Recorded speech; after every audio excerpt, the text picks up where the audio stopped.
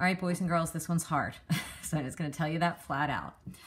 You start midway between base and midline. You go up and then you drop back down to the base.